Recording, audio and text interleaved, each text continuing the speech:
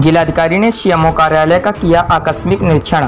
निरीक्षण में दो दर्जन कर्मचारी अनुपस्थित पाए गए। जिलाधिकारी ने सीएमओ को कार्यप्रणाली में सुधार लाने के लिए दिए निर्देश।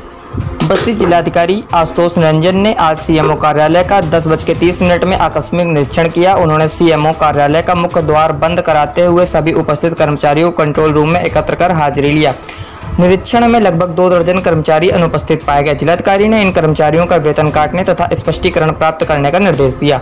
इस मौके पर CMO doctor A K Gupta, doctor C L Kanaujia doctor Fakhreyar Hussain, doctor Ajit Kumar Kushwaha उपस्थित रहे। निरीक्षण में जिलाधिकारी ने पाया कि महेंद्र गुप्ता पंद्रह एवं 16 को भी अनुपस्थित थे। श्यामो ने रजिस्टर का निरीक्षण करते हुए उन्हें अनुपस्थित दर्शाया है। इसके बावजूद उन्होंने बिना अनुमति प्राप्त किए हस्ताक्षर बना दिए। जिलाधिकारी ने इस अनुशासनहीनता के लिए उन्हें जमकर डांट लगाई तथा तीन दिन का वेतन काटते हुए विभागीय कार्रवाई करने का निर्देश दिया। जितेंद्र कुमार पांडे अनुपस्थित पाए गए। उनके बारे में कार्यालय द्वारा बताया गया कि वे एडीएम कार्यालय से संबंध है। परंतु जब जिलाधिकारी ने एडीएम कार्यालय फ़ोन मिलाकर तहकीकात किया तो वहाँ इस नाम का कोई व्यक्ति कार्यरत नहीं पाया गया। गिरजेश कुमार श्रीवास्तव पिछले तीन दिन से अनुपस्थित है। इनका भी वेतन काटने एवं कारण बताओ नोटिस जारी करने का निर्देश दिया गया।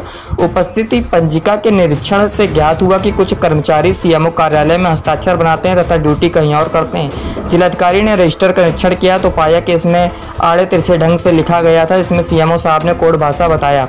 दो दिन पहले संपन्न हुई बैठक के निर्देश को भी इसी कोड भाषा में लोड किया गया था, जिससे जिलाधिकारी ने इसका अर्थ बताने को सीएमओ साहब स्वयं के लिखे हुए को भी नहीं बता पाए जिलाधिकारी ने जानना चाहा कि सबसे उन्होंने सीएम का कार्यभार संभाला है और बैठक में भाग लिया है।